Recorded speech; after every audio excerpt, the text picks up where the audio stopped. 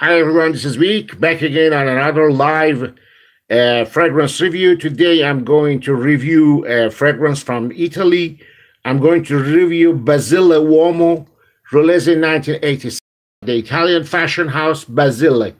Uh, Basile Uomo is a chypre fragrance. It's a very complex fragrance, and unfortunately, I don't know who was the perfumer behind. So first, let's break down the notes. Top notes are basil, uh, rosemary, thymes, lavender, lemon verbena, Amalfi lemon, and grapefruit and tangerine. Uh, heart notes are galbanum, nutmeg, jasmine, clove, also rose, cinnamon, and black currant. Uh, base notes are oakmoss, leather, labdanum, sandalwood, and patchouli.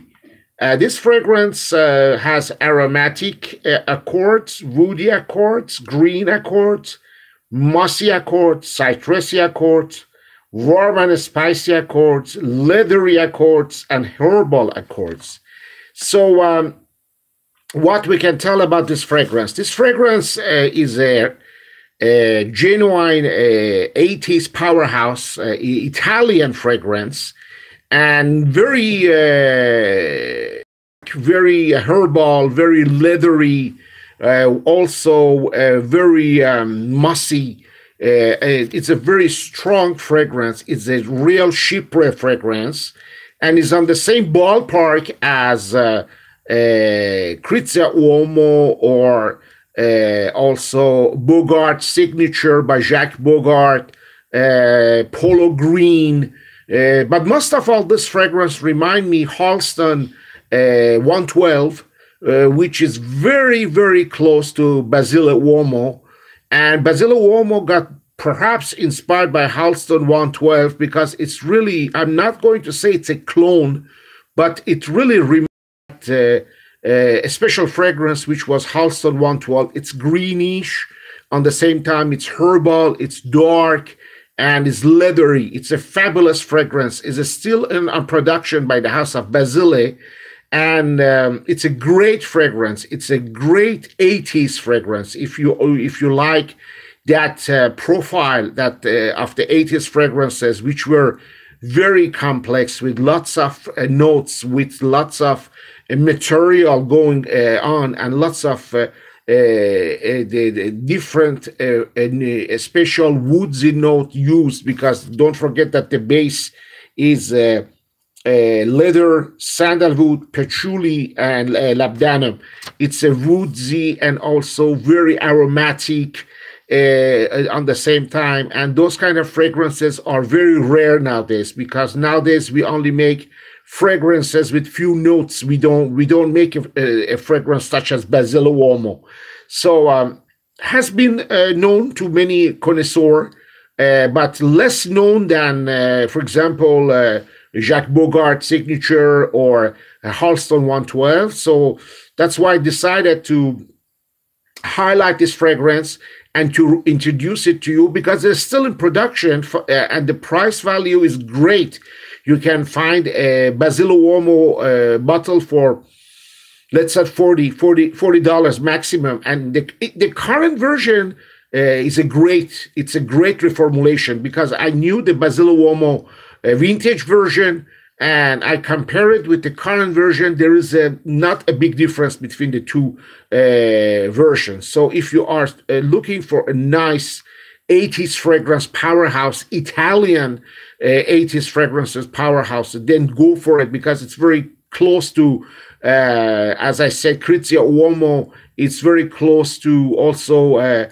Gianmarco Venturi Uomo. Mm, you know, all those fragrances that were made uh, uh, during the 80s and they, they had that Italian herbal, aromatic, uh, greeny, leathery, uh, woodsy notes uh, and dark notes surrounded with the smell of pine tree. This, these fragrances are masterpieces in their own kind, and Basile Uomo belong to that part of fragrance. So if you are fan of those type of fragrances, then Basile Uomo will surely please you.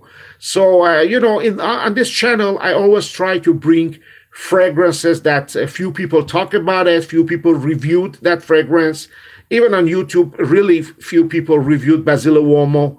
And I don't think even in English, nobody reviewed Basile Uomo because those fragrances are the fragrances that I know, I experienced them, I uh, wore them, and uh, I, I, they are uh, always been in my collection. They've always been in my wardrobe. So that's why I I share it with you because I'm personally doing that for the love of uh, the fragrances, and I'm doing that for the love of 80s, 70s uh, uh, fragrances until 90s. And from 2000, I really enjoy less the fragrance game because I found that the fragrances became too simple, too uh, too um, mass market, too crowd pleaser, and uh, less uh, uh, well developed. You know, I'm searching for a well developed fragrance. I'm searching for a fragrance that has lots of notes, has a, a real com- a complex uh, backbone. I'm not searching for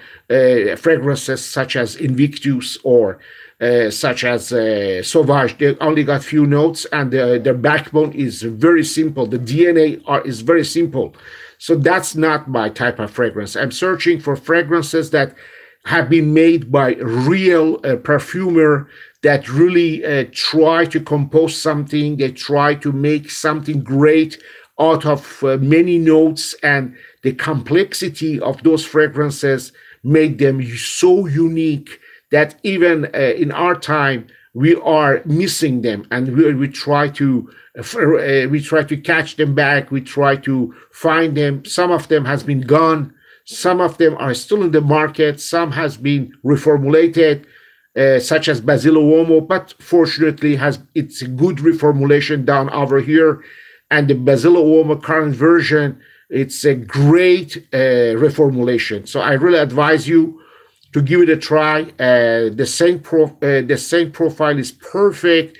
The same trail is great, and really it lasts eight hours or even eight hours plus on my skin.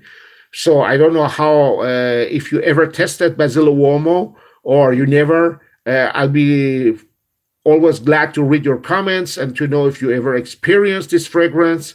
This fragrance is on the, as I said, is on the same ballpark as Polo Green uh, Uomo, uh, Bogart signature, but most of all, uh, for me, this fragrance remind me the vintage version of uh, Halston 112, which was a very greenish fragrance, a very special fragrance.